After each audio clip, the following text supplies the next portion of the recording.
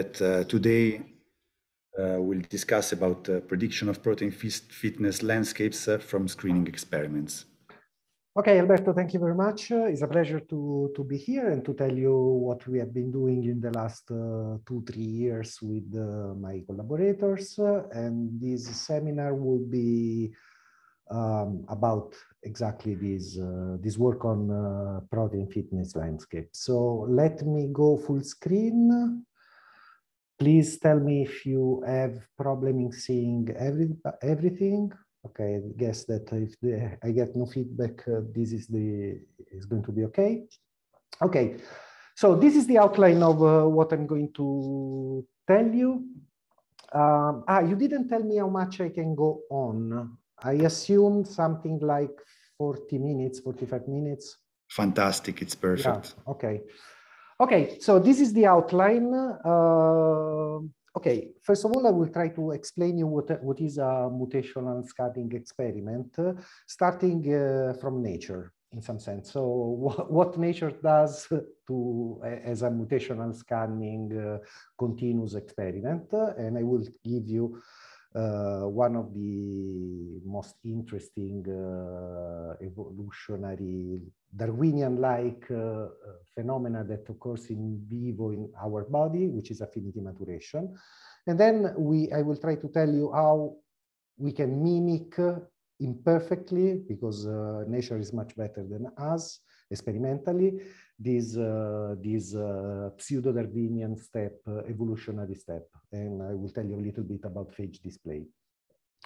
And then I will pass through to what we have been doing really, which is the development of a um, mutational scanning. Uh, so how can we model this mutational scanning experiment? And then I pass to outline a little bit uh, the uh, another type of uh, mutational uh, uh, panning experiment, uh, which are more similar to nature, yet not as complex as nature, which are directed evolution experiment. And then I will tell you how can we model this different type of experiment. And then I will give you some conclusion and perspectives.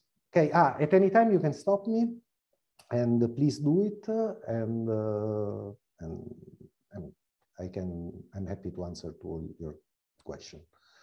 Okay, so let's start by the natural way, mutational landscape uh, from the natural way, and let, uh, let me start from the, uh, so let me put this here.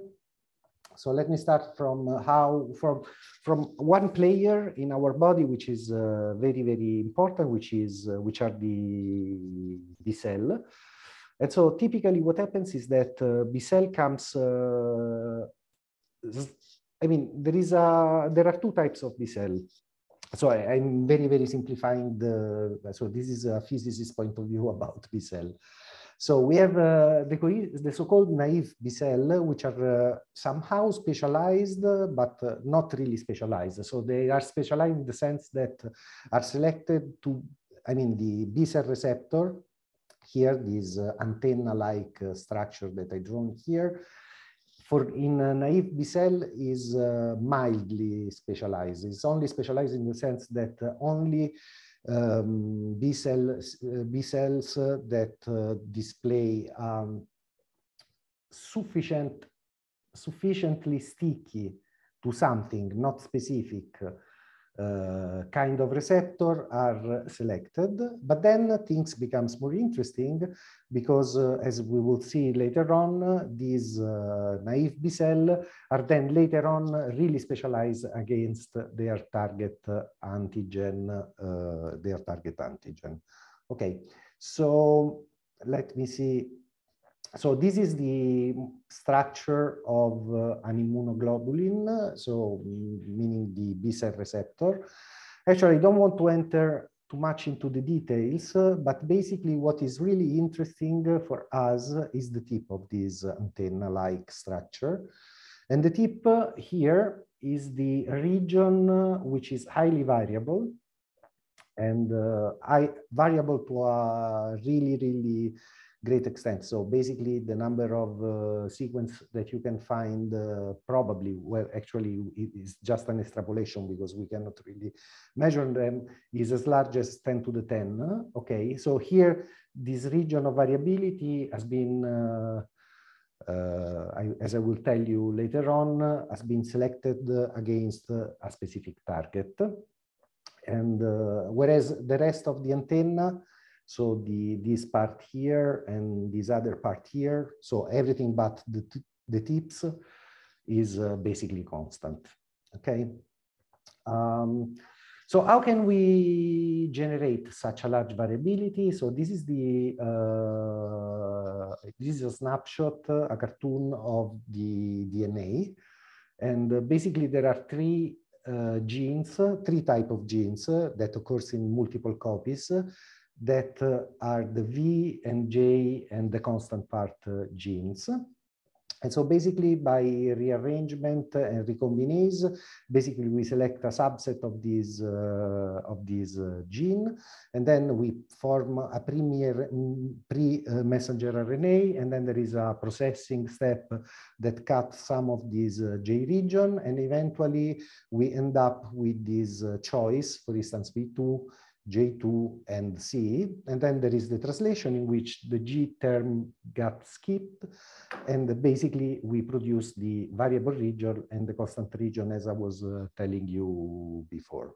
Okay, so this is the formation of uh, a B cell, which is a naive B cell. So this kind of variability here is uh, not specific to the target. It's only the natural variability that is, uh, I mean, I mean, we are do we are done in this way, and so we produce B cell receptor, naive B cell receptor that are already combinatorially complex in some sense.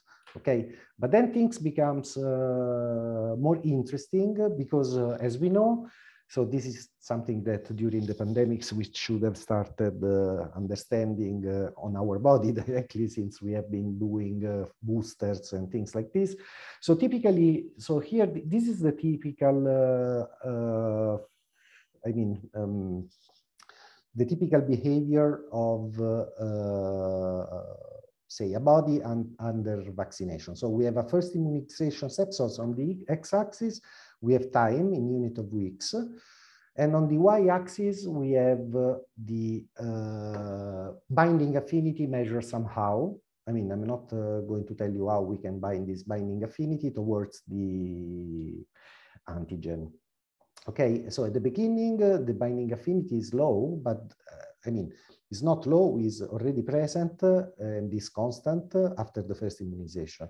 But then there is a second immunization step and so you see that there is a rise of the binding affinity. And then there is a third immunization step, so the booster step, if you want. And, uh, and so you see that uh, now the binding affinity becomes uh, uh very large.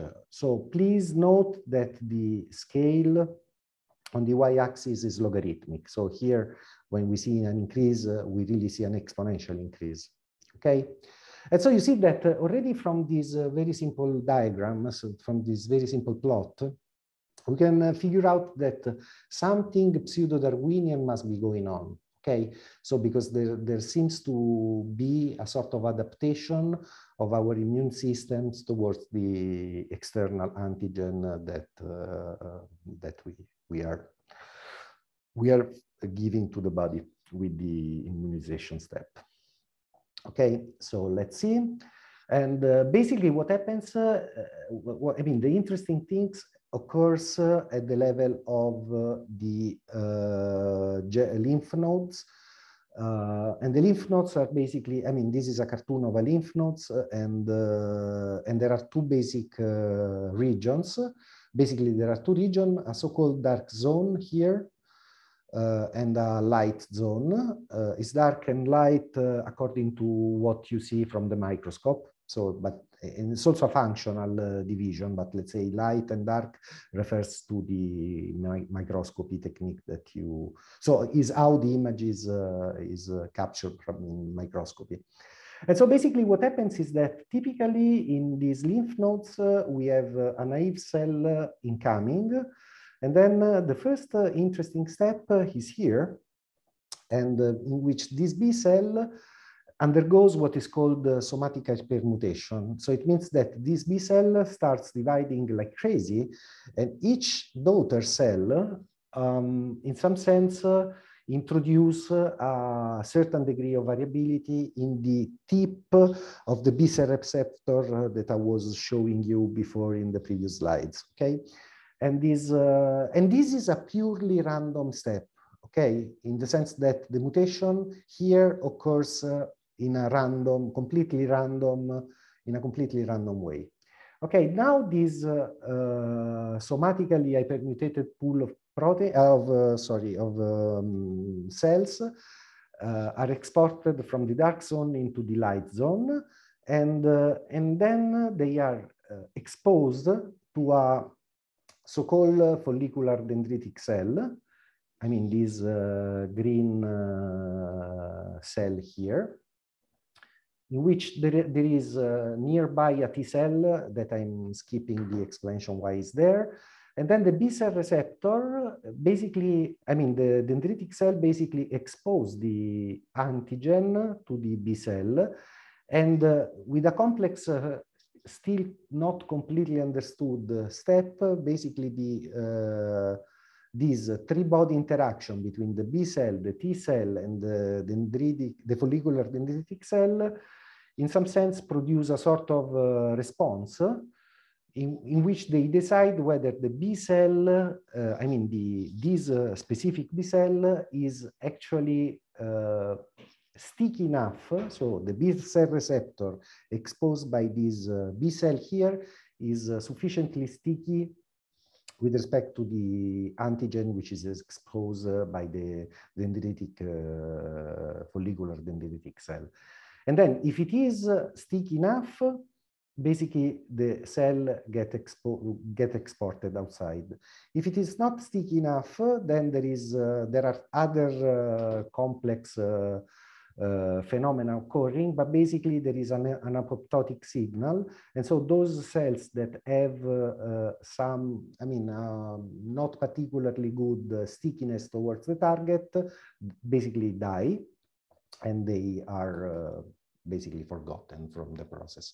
So, and then there are also the production of memory B cell that for, uh, I mean, for the time being is not relevant. So basically, I mean, the take home message here is that, uh, I mean, if I consider this complex uh, lymph node as a sort of black box, I have incoming B cell and then something happens into, into the B cell, uh, into the, sorry, into the um, lymph nodes and uh, what we see is only uh, um, basically a black box, as I said. And so what we see is a is a um, production of a lot of B cell specialized towards the target.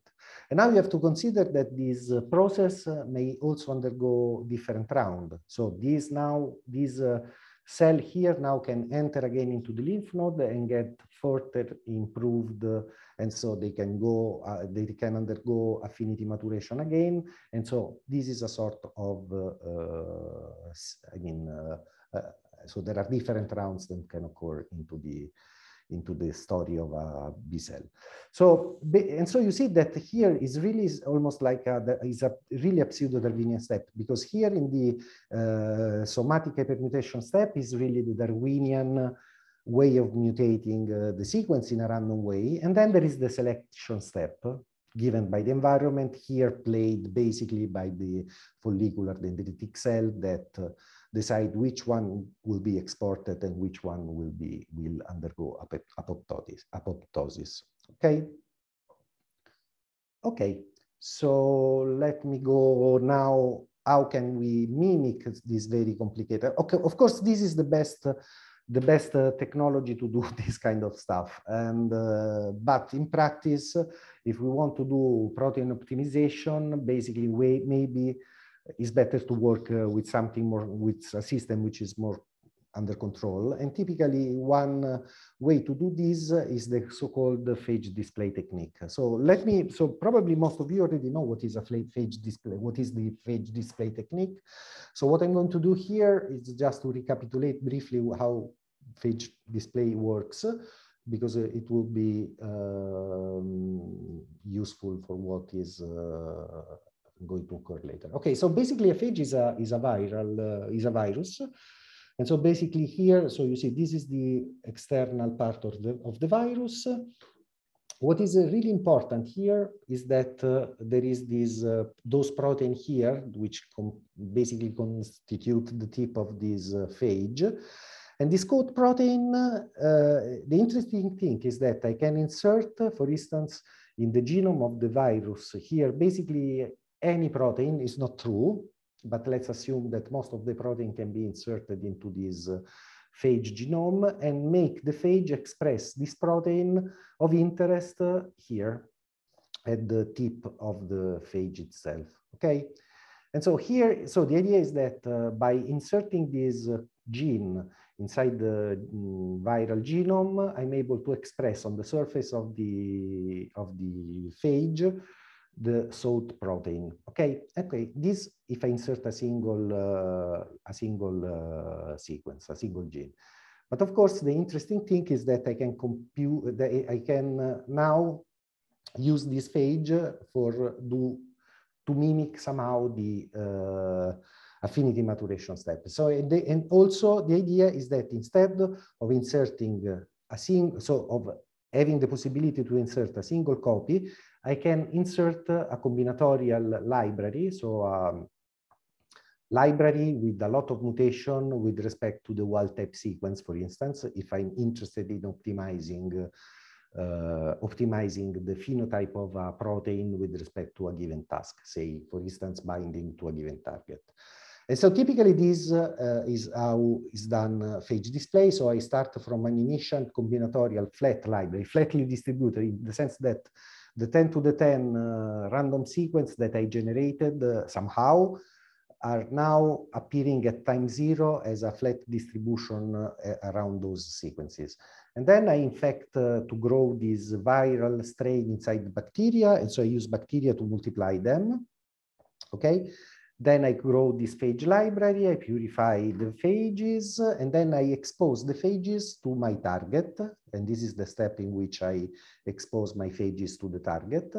And then I wash, okay? And here, by deciding how, I mean, I, how thoroughly I wash the sample, so I can uh, select uh, I can tune the selectivity of my sequences. If I wash a lot, only the best binder can, uh, can stick to the target. And if I wash uh, more gently, uh, I will retain uh, most sequences. In some sense, uh, and, and here the idea is that uh, I can now, after the washing, I can separate from the target those sequences that uh, are still on the target, so I can separate them with another uh, uh biochemical procedure. And, uh, and then what I can do, I can uh, take a part of these phages and see who survived by sequencing.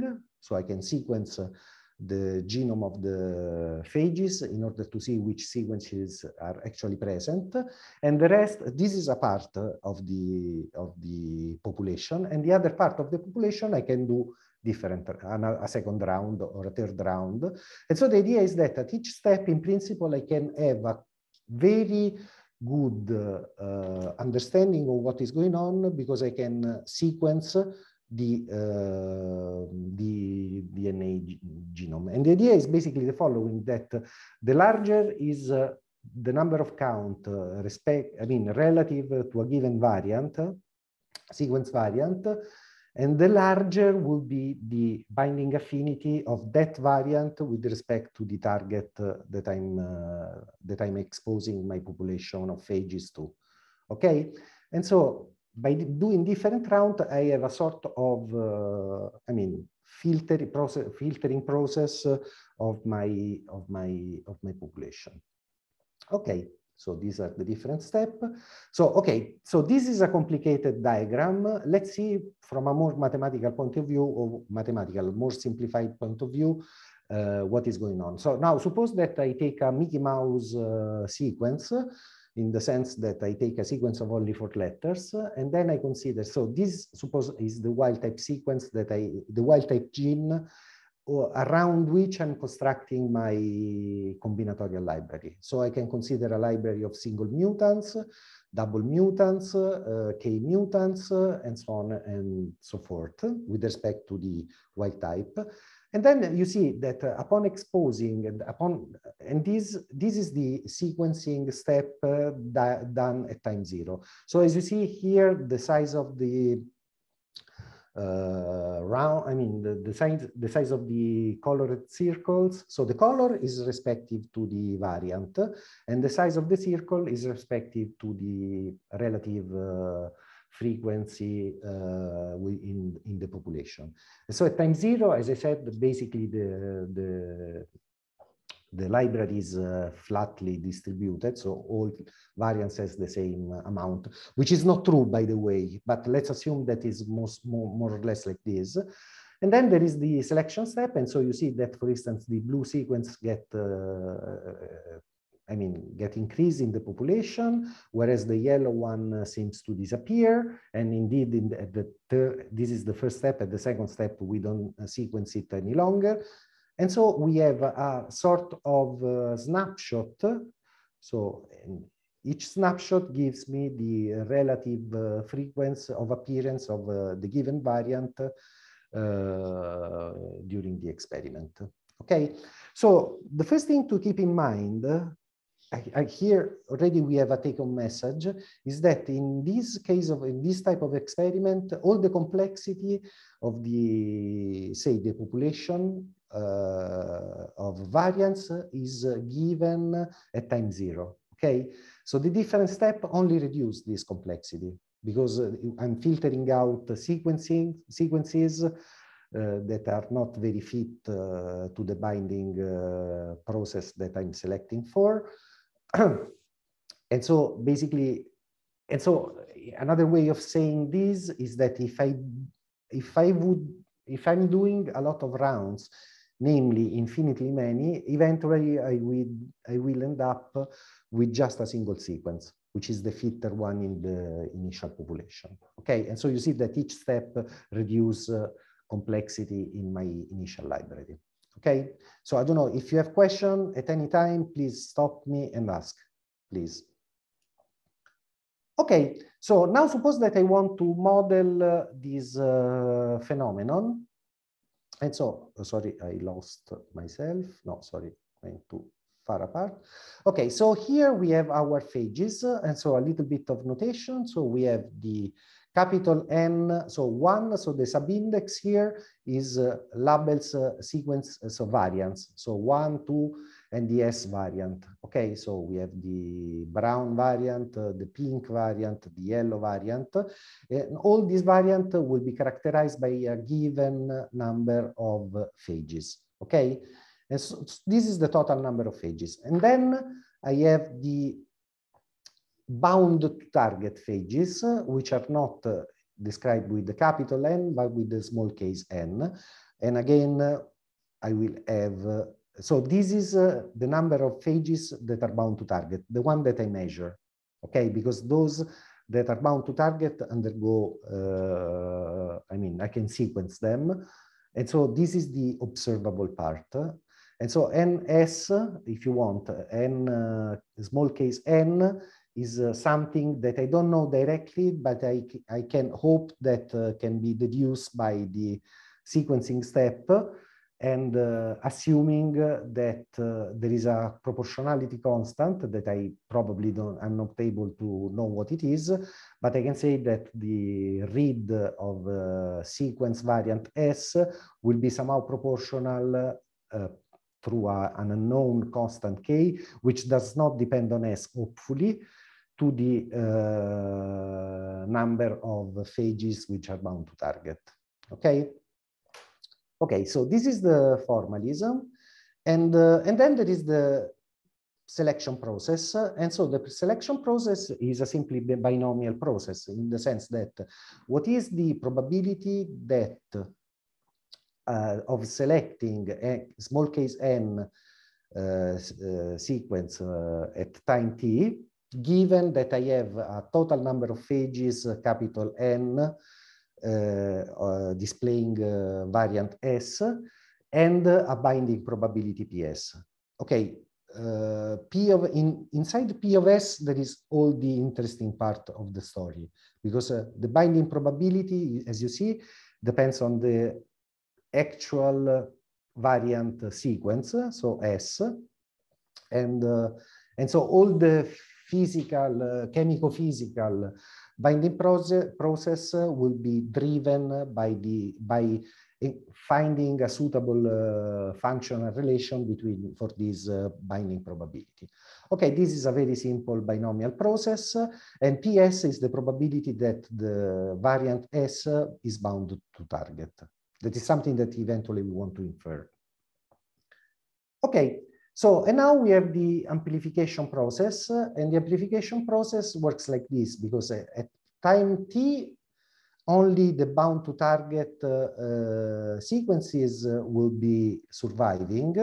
But then there is an amplification process, which is the step that occurs by infecting uh, uh, with phages the bacteria, typically E. coli, and uh, and to generate the the second uh, the next round uh, if i if i consider now round t here I will generate by this amplification process the uh, total number of phages of the different variants that survive the selection process. Okay, and I can model this uh, much in the same way I model the selection process. The amplification process can be done mostly in the same way and uh, can be modeled mostly in a, is a little bit more complicated.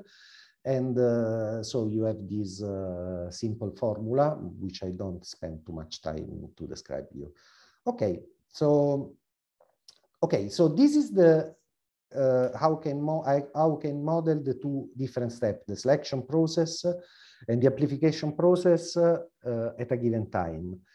But then I have multiple rounds to model. And so basically I can write down a, a likelihood of the whole selection process of the whole uh, different round of the experiment by making the product of this uh, two-step uh, process, okay?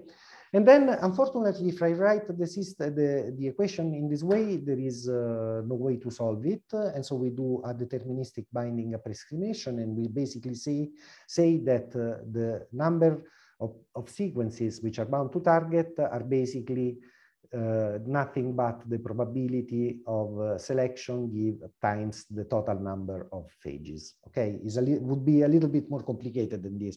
This is a really a deterministic approximation, which is okay if the number of phages is uh, large enough. Sorry, the number of sequences is large enough.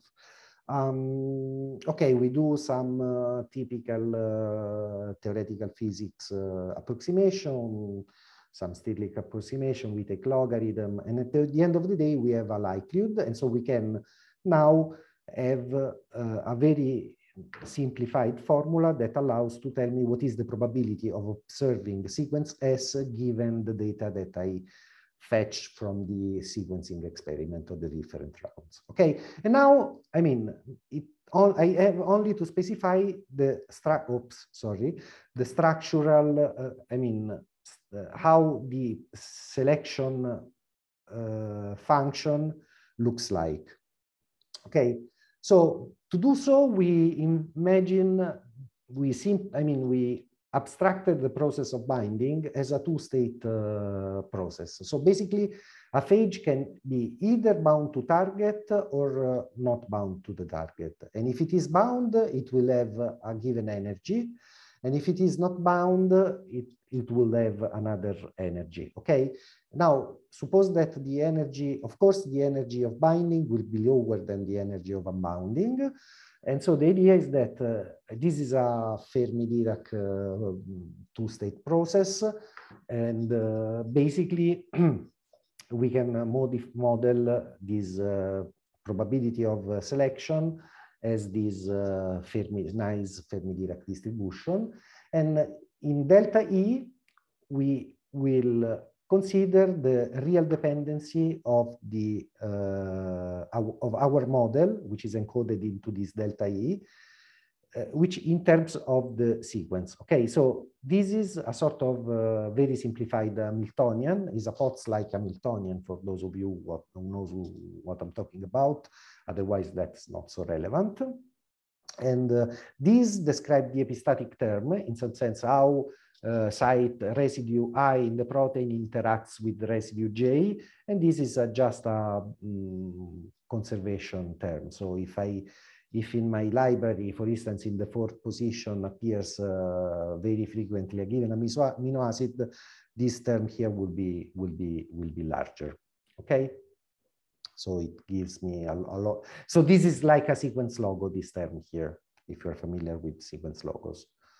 Okay, Okay, now we have, so basically the problem boils down to infer this uh, parameter here.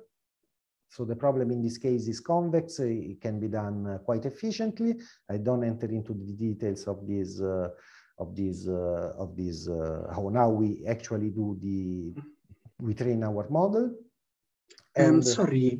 Yes. Sorry. Alessio, may I ask a question? Ciao. Uh, I lost you. Uh, I lost you when you talked about the residue conservation term. Can you repeat, please? Here, this term here. So this is n.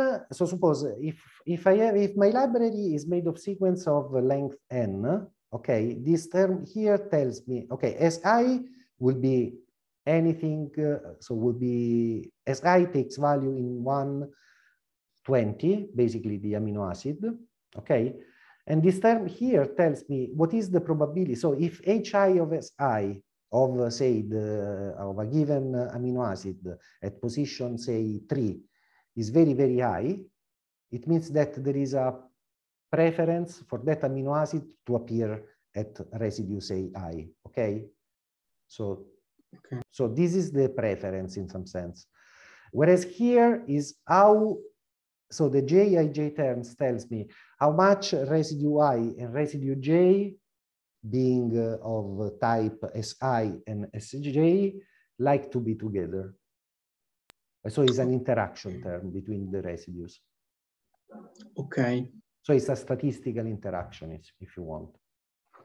Okay. okay. If my if my if the statistic of my library would be completely independent, so each site appears independently of the other site, the epistatic term would be zero. Whereas, uh, I mean, uh, as we will see, actually it's important to take into account a statistical interaction between the different residues. Okay. Did I answer to your question? I think yes, thanks. But I mean, if you want, you can ask me more later if you're, okay? okay? Cool, thank you. Okay, so, okay, now we did um, analysis on uh, different data set uh, uh, in which the protein uh, is uh, this one, the target uh, is given by this column. and also interestingly, we have two different set of experiment, completely different, so done by different lab. And, uh, and so, as you will see, we will, you will see that uh, we are able to learn from one experiment and predict the other experiment. Even, I will be more specific on, I mean, the, eh, this is an interesting case in which the experiment is repeated by two different labs with different techniques. And uh, I mean, they're very different data set. Uh, you see the number of unique mutants uh, is here. The average distance from the wild type uh, is is, oh, sorry, is uh, described here. And uh, the mutant coverage is uh, given here. So the coverage is nothing but the number of read divided the, the number of sequence. And so you see that, I mean, there are uh, data set which has an exceedingly large coverage. Okay, so the selectivity is basically a nice observable, which is nothing but the number of the logarithm of the ratio between the uh, this is given for each sequence uh, variant, and you do the logarithm of the um, ns at time t divided the, the time, uh, the pre time. And so basically here, I mean, here is the sequencing so of uh, time zero. So you see here we have an almost flat distribution of all the different variants, whereas at round one, you see that some variants becomes uh, more frequent and other variants becomes uh, less frequent. Okay, and if I do the ratio of what I see at time zero divided what I see at time one for each given uh, variant, I obtain the selectivity. Okay, then the selectivity, we can fit it. So we do a fit process in order just to have a better estimate of the selectivity, but this is not crucial for what I'm saying uh, in the next. Okay, so the first thing that I would like to say, tell you is that, uh, so I can uh, do a uh, plot of this uh, type in which here I take on the x-axis the coverage. Okay, so basically I can filter sequences according to their noise. Okay, because in this fitting procedure, we can also fit the noise related to the given sequence, okay? And so if I don't filter, basically the entire data set is uh, here, so, and then by, I mean, by pruning the sequence according, retaining only those who has a lower noise, I filter more and more my data set, okay? Like so, and here I plot the correlation between uh, the model energy so what I infer and the uh, empirical selectivity on a test set, okay? And so, and here I try to infer the selectivity from the selectivity, uh, the empirical selectivity, and uh, from what I from what you can see, our model is better than the empirical data in predicting this uh, this selectivity. And uh, this is uh, an interesting thing that uh, already corroborates the idea that doing modeling, uh, we have a better understanding of what is uh, going on at the level of the sequences. Uh, is our model a good predictor of the selectivity? Yes. Again, you can see that this is the case in which we have the two different uh, data sets. So we train on the first data set and uh, test on the other data set. The two initial library have only 50% of the sequence in common, okay? And so I can see selectively what happens in sequence that, I, that are present in one data set and also in the other data set, but also in sequencing which are present only on one data set but not present on the other data set, okay? And so you can see here that uh, the, my ability to predict the selectivity by learning on one data set and the testing on the other data set on sequences which are not uh, present on the training set is very, very good.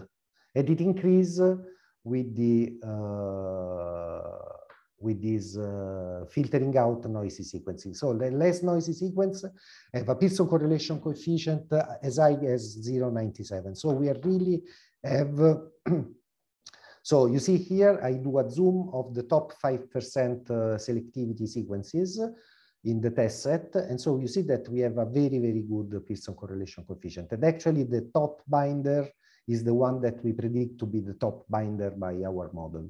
Okay, so mind that in this case, we, we, we didn't see these uh, sequences. So we have no idea what is the selectivity of the sequence. We predicted and we actually use the other uh, data from the second experiment to see what is going on. And uh, okay, so here is the distribution of the mutational effect on the different data set.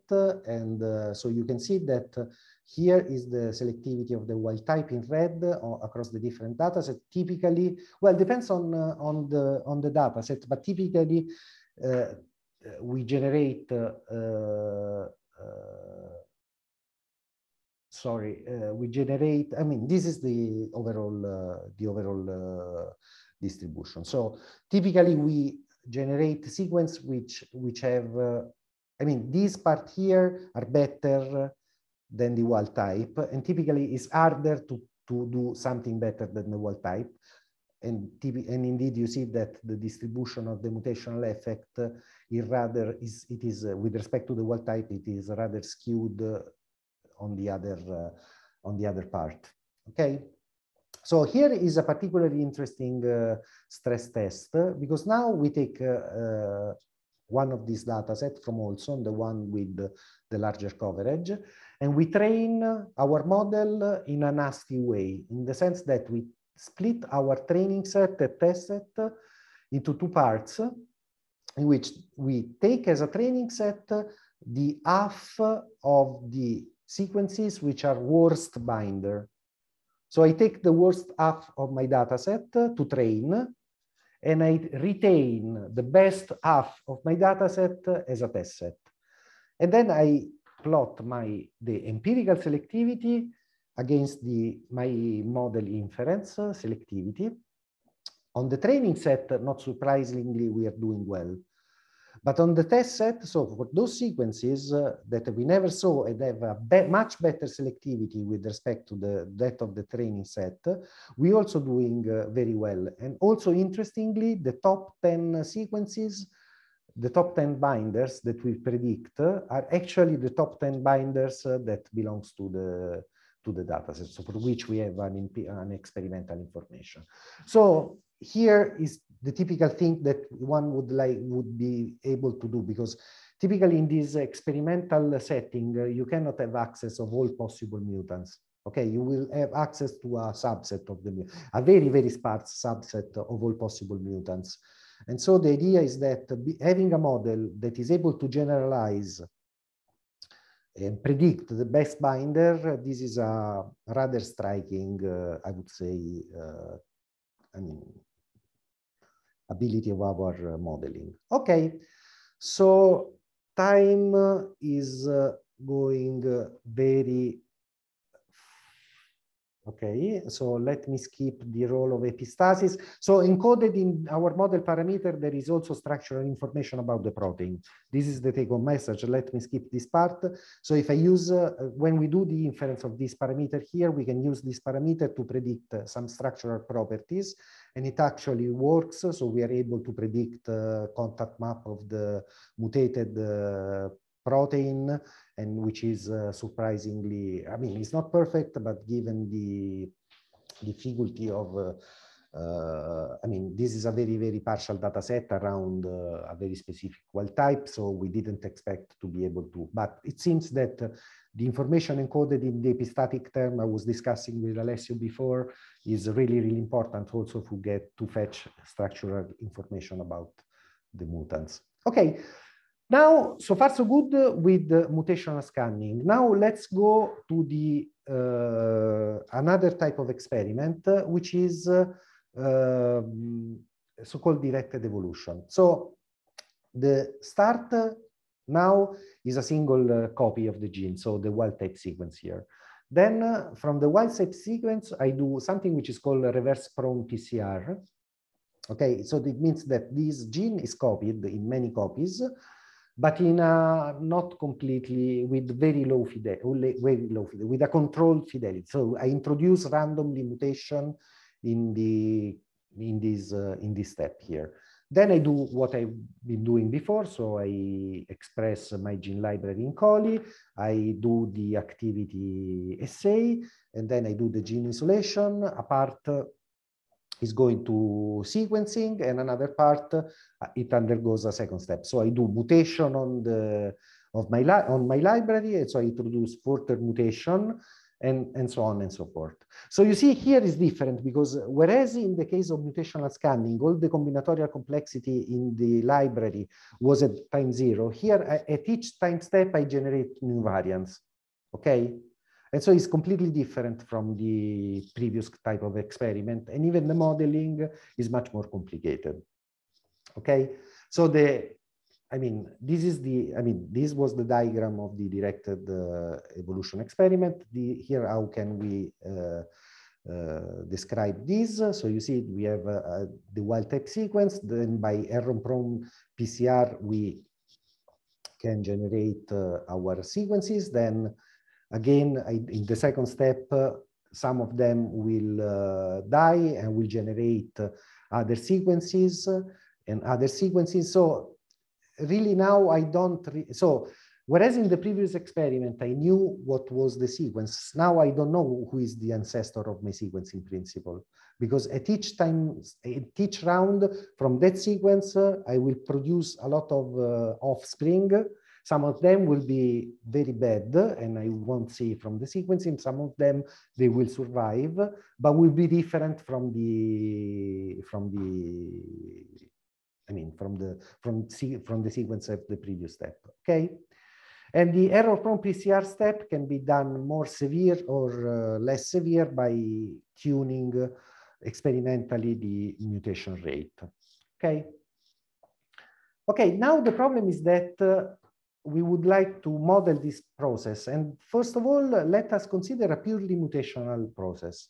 So let us consider a process in which I only generate random sequences and there is no selection. Okay, it's a purely, it's like a random walk without drift. Okay, I, at each time step, I generate new sequence. And so we started, so the initial probability will be a delta distribution around the wild type sequence. All my sequence will be equal to my wild type. And then I can do a sort of uh, generalized Jukes Cantor model to take into account the random mutation. Okay, so this is the, uh, I mean, the transfer matrix that uh, describes the mutational process. And at the end of the day, I can have this uh, QT of S, which is the probability distribution after T time steps of uh, mutation, and will be basically proportional through a parameter here, nu of T, which by the way, we know analytically this function, and times the Hamming distance of the given sequence with respect to the wild type sequence, okay, which is the initial one. Okay, this is the basically given, uh, I mean, this would be the correct description of the uh, process in the absence of selection. But then there is selection, okay, and uh, okay, this new T can be computed as this nice simple formula. Okay, now the selection process becomes uh, is important because we know that there is selection. So this is the distribution at time t, at time t say. So we say that uh, this is time zero, so all sequence more or less are uh, selected. Then from this uh, sequence I select according to a probability distribution and some sequence will be amplified, some sequence will be decreased, some sequence will remain constant, uh, and so on and so forth. And so now, if I want to sample from these, uh, so the second step will be nothing but the uh, probability of the first step to the power two, and the third step to the power three. Okay, so it's like adding a temperature here to my problem, which is proportional to the number of rounds.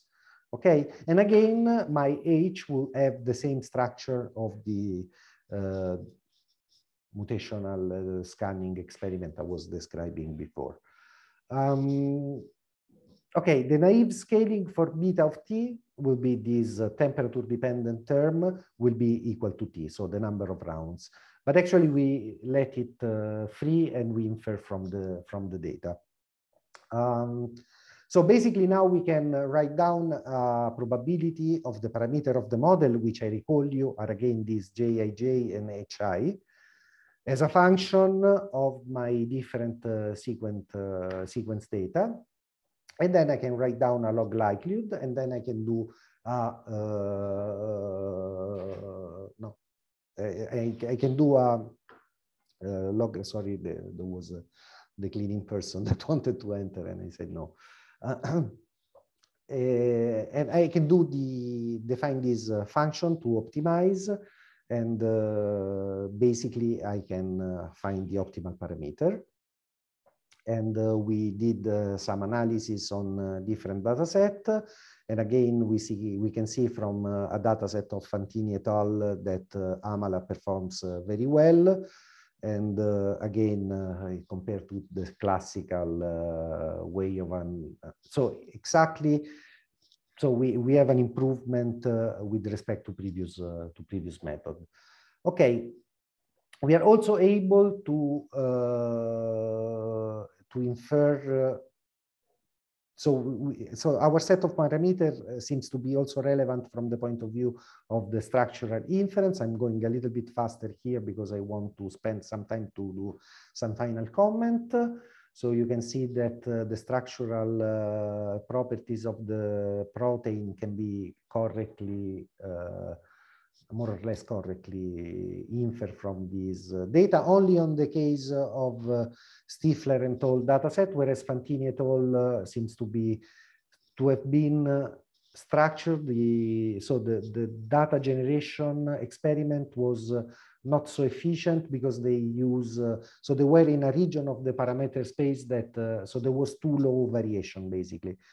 So they would have done a better, a different choice of the mutation rate parameter in their experiment or their washing procedure.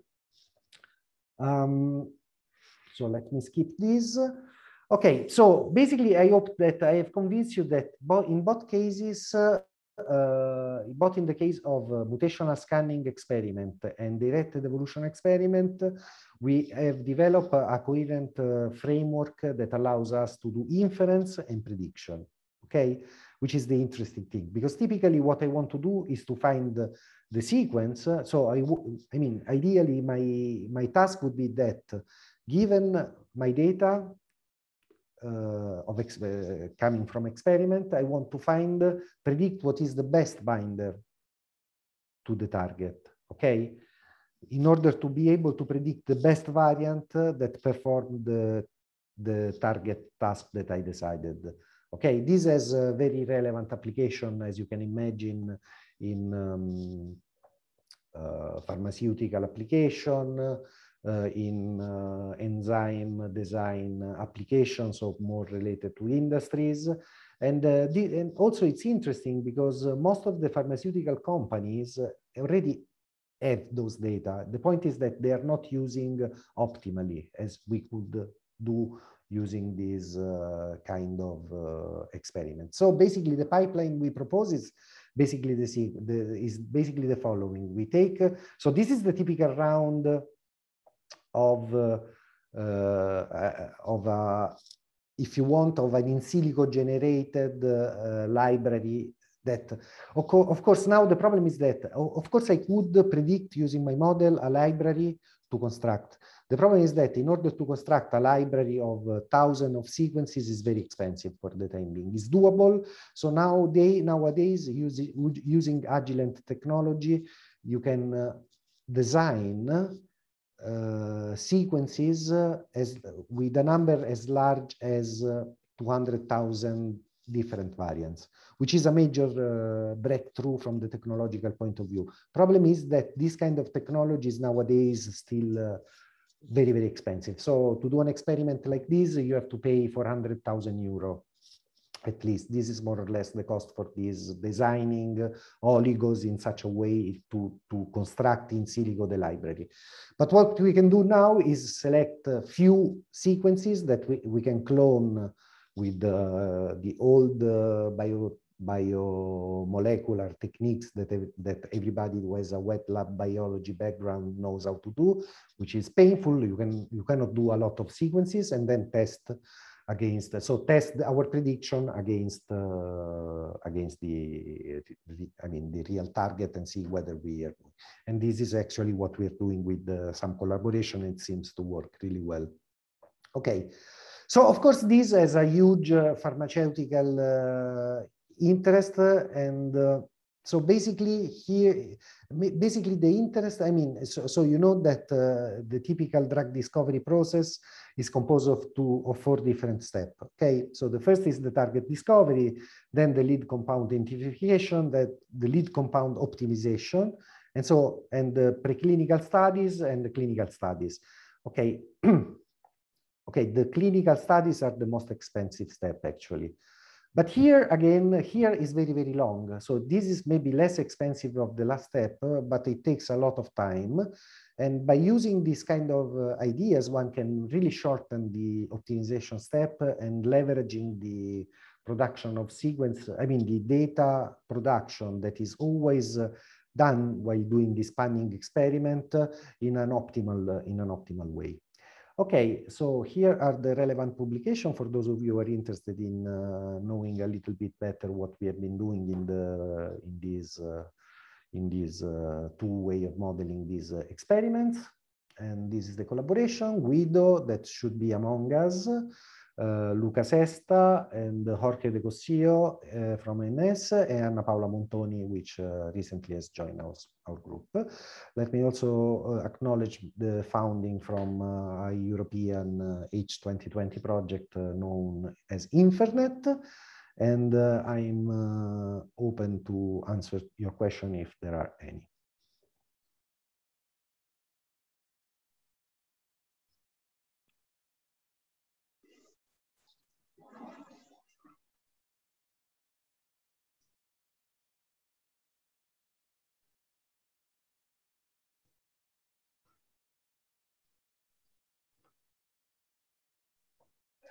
Okay, can you hear me? Yes, yes, of course. No, I was uh, I'm not ready now to formulate really a, a proper question, maybe because no, I mean, was, uh, you don't have to. I mean, if there are questions, you're welcome to. No, I was wondering uh, how uh, do you think it is possible in interplay also with other uh, approaches uh, such as deep learning approaches? Uh, okay, yeah, okay, this is a normal question. I mean, this kind of sequence-based inference uh, was very, very successful. So we have been working with sequence inference, I mean, in particular, uh, using uh, prediction of structural protein properties from multiple sequence alignment since uh, 2011, okay?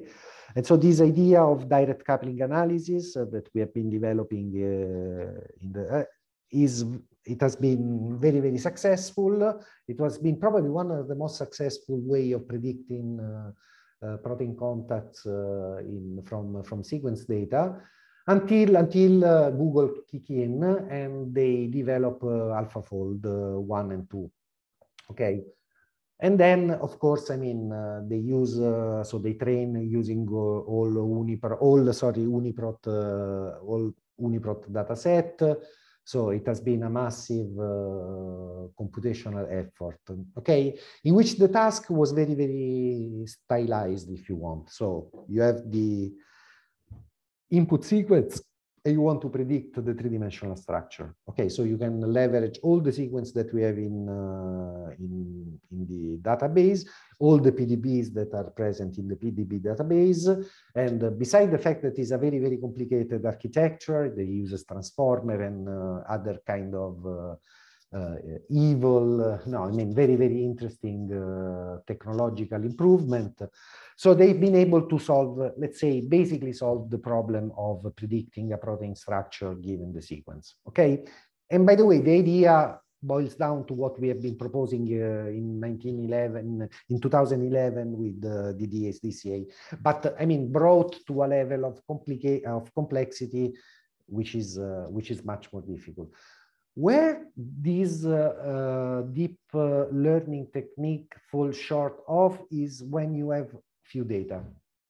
Okay, so typically this kind of panning experiment produce, I mean, a lot of data from our point of view, but not enough for really large system. And indeed also you can use AlphaFold to try to predict uh, mutational effect. Uh, so I can take uh, AlphaFold and uh, use a use a sequence and then uh, see how the fold changes if I mutate an amino acid. So I can do a mutation experiment on AlphaFold but typically, what the, the degree of prediction uh, with, uh, with the experiment is very, very low because it has been trained to do a different stuff. So there is some information, surprisingly, or perhaps not surprisingly, but it has been trained. I mean, the whole idea of AlphaFold is that of predicting the three-dimensional structure of the protein, protein, which is, I mean, a complicated task indeed. Whereas here we are really interested in predicting the mutational effect of the of the from a from a combinatorial library. And uh, and from this point of view i mean there are there are some attempt but uh, when we check our result uh, against the performance of uh, some deep learning um, algorithm that are appearing for mutational scanning prediction we are much better typically. And because basically we are being able i guess i mean the idea that i have is that the uh, modelization of the modeling of the binding term is really physical at the end. So this is a physical step. So there is a, so either the sequence is bound or not bound. Okay, so it's a very simple model. It's like a two-state model that you can imagine. It's very, very simple. Mm, I mean, fermion uh, quantum mechanics is based on this idea. Sorry, statistical quantum mechanics on fermion is based on this simple idea. And, uh, and what we are exploiting here is uh, exactly the, the, being able to put a, a, a, sensible, I would say, physical model uh, behind. I mean, the number of parameters is large, but not as large, uh, I mean, not as large, of course, as, as this monster architecture of uh, transform and attention-based uh, machine. yeah, this seems really, no, sorry, you were saying something else. Yeah, maybe just the last thing. I'm not excluding though that uh, this machine eventually will uh, will do a good job also for this uh, specific task uh, of predicting the effect of a mutation with respect to the world type. But for the time being, they're lagging behind. Yeah, the, the impression is that uh, if you are so data efficient, you are uh, putting inside the correct, uh, let's say, uh, very useful inductive bias, which is represented maybe from the functional form of the Hamiltonian, uh, also the the Boltzmann law, basically. Something yeah, yeah, in some sense, we are we are using a, a, simplified. Of course, the, the reality will be more complicated, but let's say the the degree of sim. Uh, I mean the how. So so I mean when we feel, I mean as physicists we typically do reduction of complexity, you know, and uh, probably we stopped at the good step here. So it is a stylized, uh, if you want, model, but yet it's able to capture the main feature of this uh, of the biology, the underlying biology. Yeah, thanks.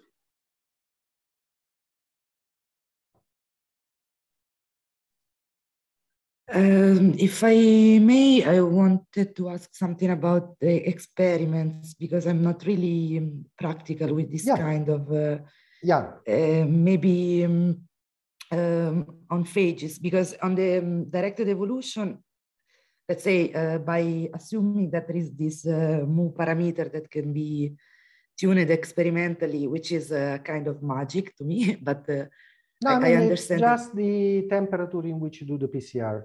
So there is a so there is um it's not, it's not a black magic. is uh, it's very simple actually. So you have to buy to instead of uh, buying the reagent for doing PCR, the normal reagent, there is a special reagent and you have to, to tweak uh, the temperature of the cycle. And basically by, by playing with the concentration of, uh, so by playing with the temperature, I think we can set up uh, the an average mutation rate that you can introduce. It's not, right. I mean, I mean, say it like this, yeah, yeah, sure. easy. Then you go in the lab and you spend a month tweaking the parameters, but eventually you find out a way to be uh, sure that you introduce, say, on average, two, three mutation. Of course, right. I mean, I'm cheating here because the mutation are on the DNA, okay? Then some mutation will be non-synonymous, and then what is important is the, the mutation rate at the level of the protein production, because I mean, the selection, of course, at the level of the protein production.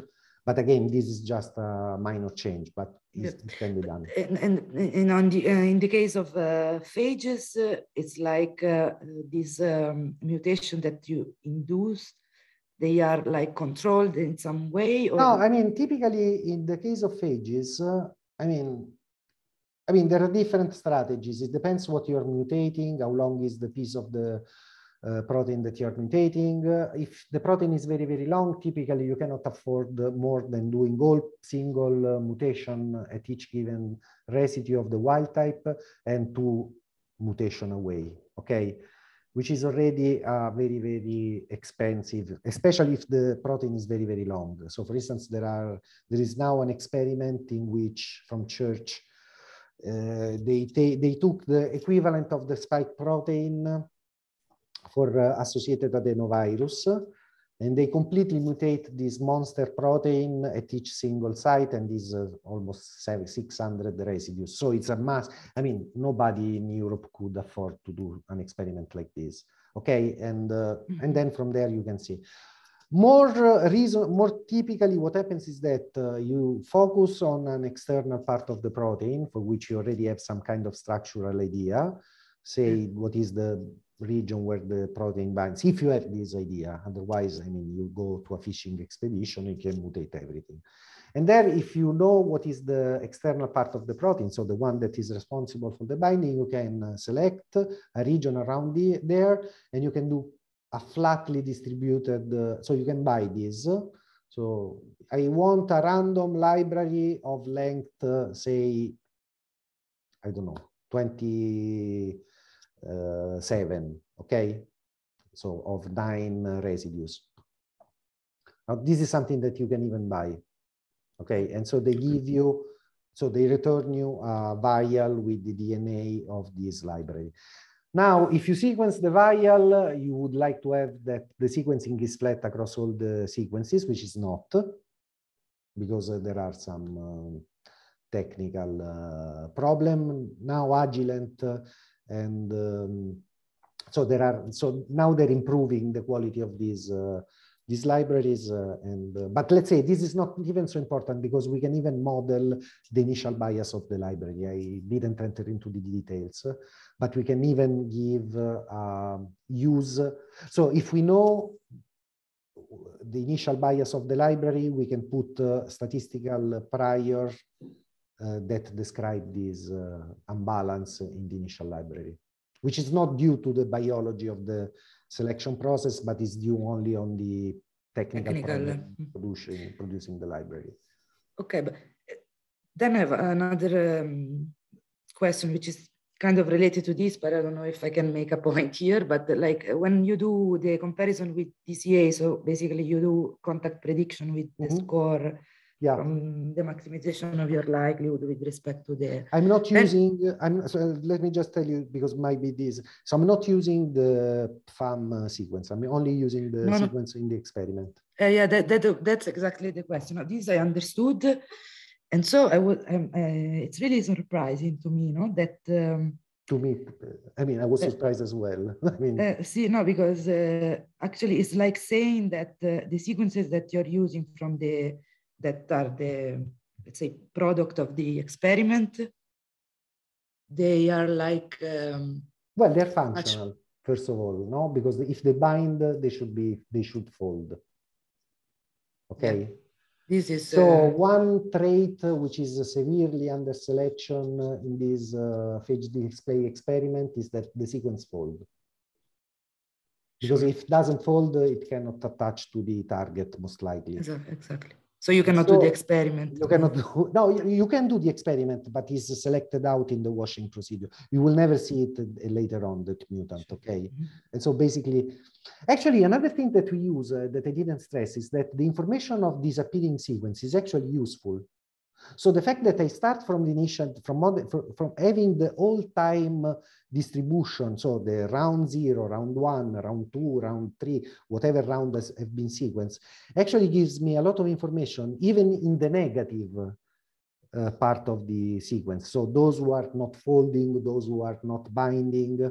So I'm exploiting also the information of the miss, I mean, the disappearing sequence in this way of modeling which is, I think, mm -hmm. relevant. Yes. No, maybe. No, no, but I'm, I'm still on that.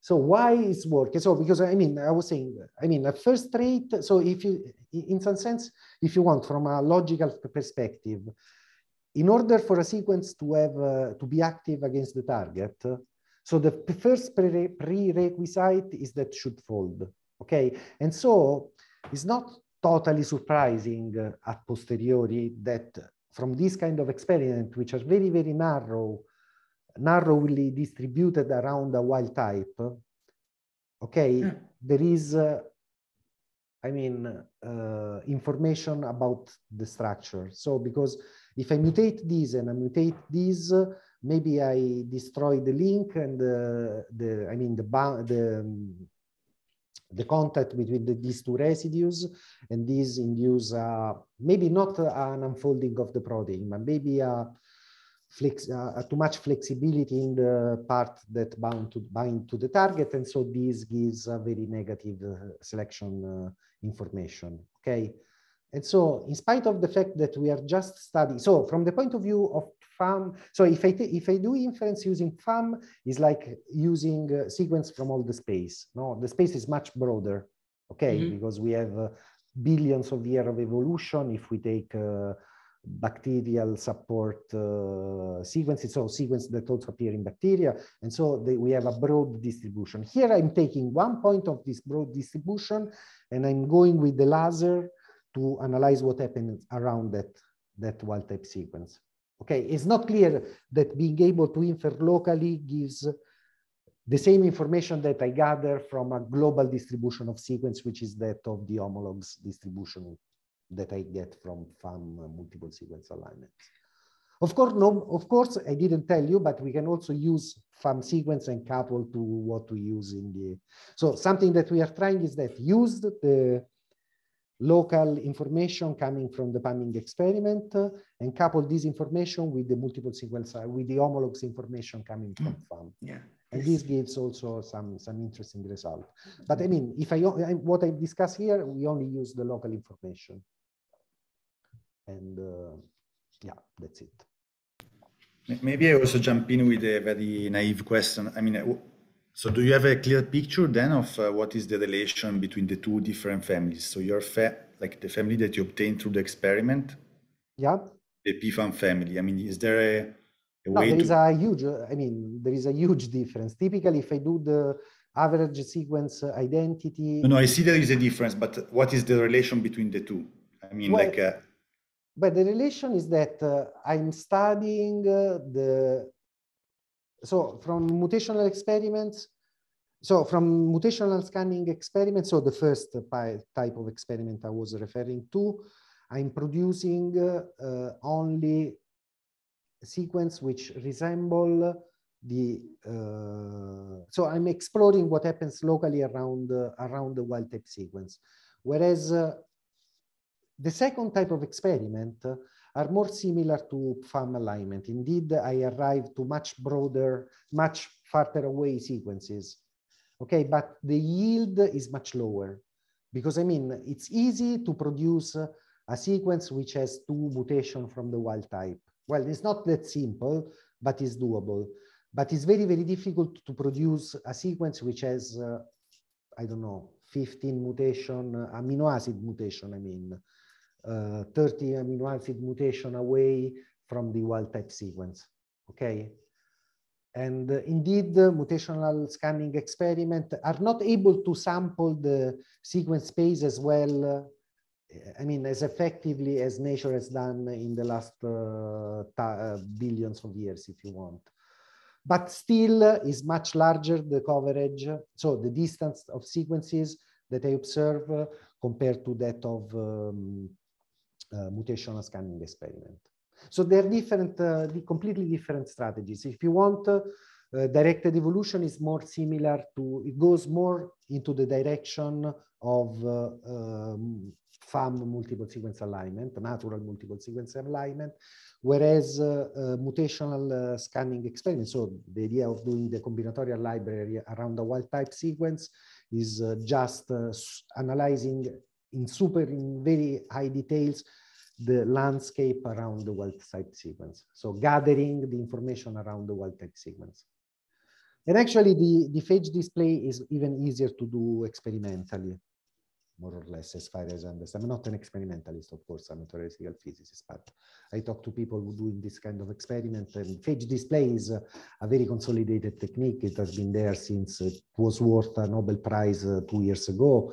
So it's a very consolidated uh, kind of technique that uh, basically every lab can do. And it's also very cheap. Uh, it's nothing. Whereas, I mean, doing uh, directed evolution, it's, uh, it's more cumbersome, let's say. I don't know if I answered your question. more or less. You can I think it's, narrow, uh, it's narrow. A, it's a great, uh, no, good answer, but I will be thinking a little bit more. yeah. I mean, So, but one, one last thing, because I'm still thinking to no, no, uh, I mean, that I plot. mean, I'm uh, here. I mean, it's so basically, it's like uh, maybe I, I say it very badly, okay? So Go it's like you said, um, you take a PFAM family, this is more or less under some like big approximation, uh, what happens in the um, full explorable um, space of sequences, yeah, eh, yes. And yeah, uh, with a, with a strong uh, anthropocentric bias in the sense that some uh, sequences are being more uh, studied than others because I don't know, E. coli appears a lot. um, uh, I mean, there is a bias, of course, on what you can do. But let's say, I mean, let's assume this is uh, more or less true, no? Yeah. Yes. Then it's like here maybe you get a, a better contact prediction because it's like uh, if we had a way to filter an MSA uh, of a family like by fitness because Mhm. it's not like this if you take the bacteria mm, protein together with the human one Mhm. it's like there is a direction here in which uh, selection acted no but you're mean? So I didn't understand. Sorry. So um, let's say that there was a strong uh, selective pressure in between what happens between the um, bacteria sequence and the human sequence for the Mhm. same protein, suppose, Okay. no? okay. So no, nothing. I was just thinking that uh, let's say the, mm, the the the pool of sequences that you observe in, from the experiments are like uh, take this into account already, no? Because as you said, you're exploring like a narrow space Area. around the wild type, no? Yeah, exactly. So it's like yes, you know, it, it it makes perfect sense that you get a better structure prediction. No, on no, no, wait a second. I'm not obtaining a better structure prediction with respect to the FAM sequences. FAM sequences are, give, are much better in doing, uh, but suppose that you don't have FAM. So what I'm saying is that it's not at all trivial that uh, by exploring a narrow region around the, the wild type, the variability that I observe is enough to fetch some degree of uh, structural, uh, which is not, uh, I mean, still if I use FAM uh, with the techniques, I do better. Okay. What I was saying is that if I feed the normal algorithm, like uh, pseudo-likelihood maximization, whatever you use, with uh, this kind of data, you see basically nothing. Okay. Whereas if I use these uh, model informed, I mean, with this uh, experiment, experiment informed way of modeling, because, because you see, my modeling contains more or less uh, the same Hamiltonian of the DCA, if you want, but there is also all the structure of the rounds, the phages, the multinomial distribution. So I really trying to focus on the process, the biochemical process of selection here, the, which I'm feeding into this model. Whereas FAM is just a purely, I mean, DCA, so pseudo likelihood maximization is just a information-based uh, optimization. So knows nothing about the selection process. Okay, there is no, basically no selection process. I only say that this is described by um, Hamiltonian like this. Whereas here there is more information. And also we can exploit the time, which typically in FAM you can, in, um, sorry, in uh, sequence experiment, in um, in uh, computational method uh, like, uh, for instance, in, I don't know, AlphaFold. So there is no time there because all sequence that you observe at, are at the same time. So at the leaves of the, say, gigantic uh, phylogenetic tree underlying that protein, and of which, of course, we only sample a, a limited part. But we have no idea what are the intermediate step, so the inner node, so the ancestral sequences. So there are algorithms to retrieve the ancestral sequences, but basically we don't have this kind of, uh, information at large. Okay, whereas here is like I'm, I also know the internal nodes and I'm exploiting this, uh, this kind of information. So, and so the take home message is that if you use all the sequences uh, homolog information from FAM, uh, you do better using standard techniques. If I use standard techniques applied to this kind of data, they don't work very well because they don't have the information that we are plugging in, whereas our method is able to, to give you this information. And it also could be useful in the sense that suppose that you have a, a sequence, uh, sorry, a sequence, you have a, yeah, you have a protein for which you don't have a PDB structure for reason, different reasons. And then maybe you can do a mutational experiment in order to have a rough idea of what is going on at the level of uh, protein-protein, uh, uh, sorry, residue-residue contact information. And then from there, maybe you can have an, can build up a, a realistic model of the three-dimensional fold of this uh, protein. But here I would say that the real uh, goal is not the structural, which is a nice byproduct we didn't expect, is really the capacity of the, of the method to predict the best binder, which is technologically what is, uh, what is interesting here. Okay, so for instance, now we are doing experiment in which we uh, expose to two different target uh, the library. Okay, and then the question is, am I able to do to predict which model will be specific from target one, but not from target two, or from target two, but not from target one, or which is the best sequence which bind both target.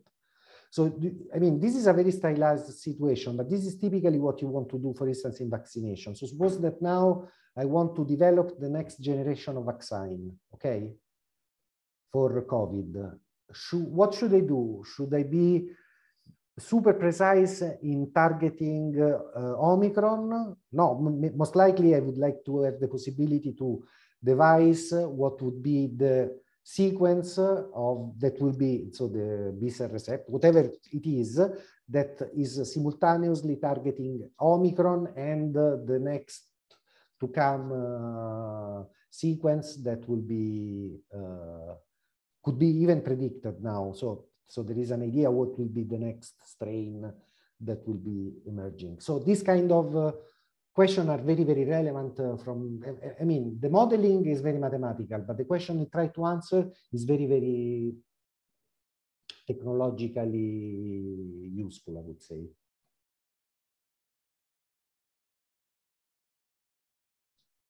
Thank you for your question.